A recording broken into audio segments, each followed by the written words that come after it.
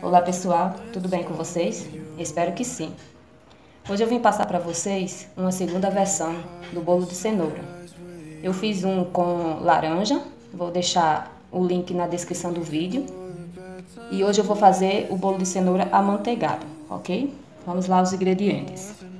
Eu tenho aqui 250 gramas de cenoura, 4 ovos, uma xícara de açúcar, 250 ml de leite, duas xícaras e meia de farinha de trigo, duas colheres de margarina, vou colocar uma pitada de sal, vou colocar uma, uma colher de raspa de limão e uma colher de fermento em pó. Vamos lá ao preparo. Eu tenho aqui, né, a cenoura. Vou colocar os ovos. o leite, o açúcar, vou colocar a pitada de sal, a margarina.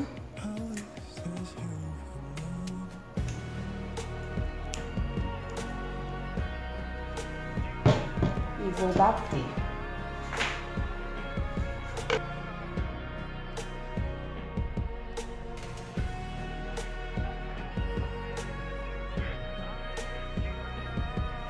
Agora eu vou colocar na tigela o líquido.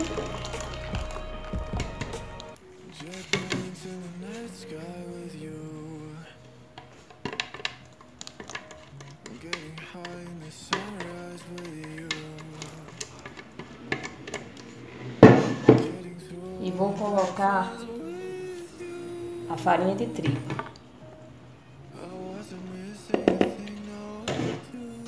Misturar bem.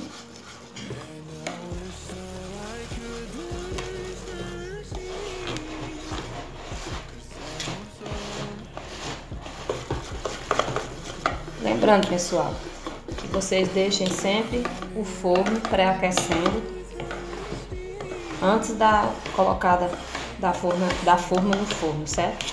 Deixe uns 10 minutinhos antes. Enquanto você vai Antes de você começar o preparo, você já liga o forno. Enquanto você está preparando, o forno já vai esquentando, ok? Bem misturado. Agora eu vou colocar o fermento, que é uma colher de sopa, bem à vontade. E vou colocar a raspa de limão. É um bolo super rápido, super fácil e super gostoso. Para mim é o bolo mais lindo que existe, porque essa cor dele me chama muita atenção. Aqui você vai misturar bem. Eu coloco a raspa de limão porque eu gosto do aroma do limão. Pode ser limão ou de laranja. Eu gosto do, do aroma. Além do gosto da cenoura, eu gosto muito fica esse gostinho ou de laranja ou de limão. Mas aí é a gosto. Se não quiser colocar, não coloca, entendeu? Pronto. Aqui tá pronta. Agora eu vou passar pra forma. Tem que misturar bem para o fermento não ficar os bolinhos.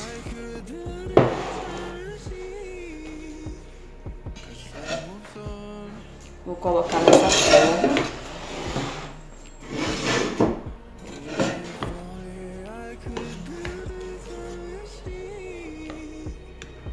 Já está untada. Vai ficar um bolo bem grande, porque eu usei duas e meia xícara de farinha. Se eu tivesse usado só e quatro ovos, né? Eu aumentei os ingredientes. Então vai ser um fumo bem, vai ser um, um bolo bem grande.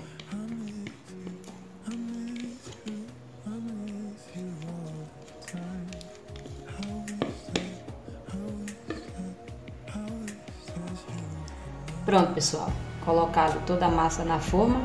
Agora eu vou levar ao forno no 180 graus por 40 a 50 minutos, porque o meu forno ele é meio lento, mas depende muito do forno. O meu eu acredito que vai ser de 40 a 50 minutos. No final eu falo para vocês quanto tempo durou, ok? Lembrando que eu vou fazer hoje uma caldinha de chocolate. Não é uma calda, né? Uma cobertura de chocolate para colocar nesse bolo. A cobertura eu vou deixar o link também na descrição do vídeo, ok? Vamos lá, levar ao forno.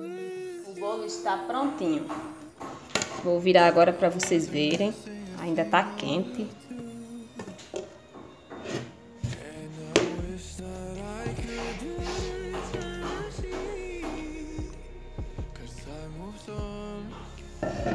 Ficou lindo. Pense no bolo lindo, é o bolo de cenoura. Agora eu vou preparar a calda e vou colocar nele. Pra vocês verem como fica. Pronto, pessoal. Agora eu vou colocar cobertura em cima do bolo.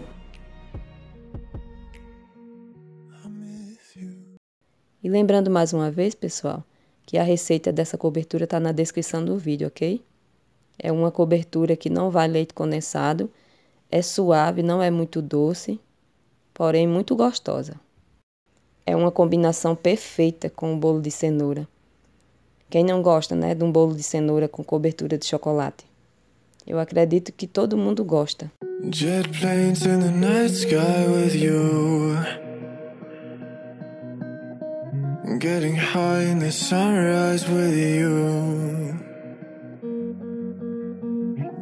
Through all the bad times with you. I wasn't missing a thing, no, I do. And I wish that I could build a time machine Cause time moves on And now you're gone Oh, if only I could build you. I can't forget you. I miss you, I miss you. I miss you all the time. I wish that, I wish that I wish that you were mine.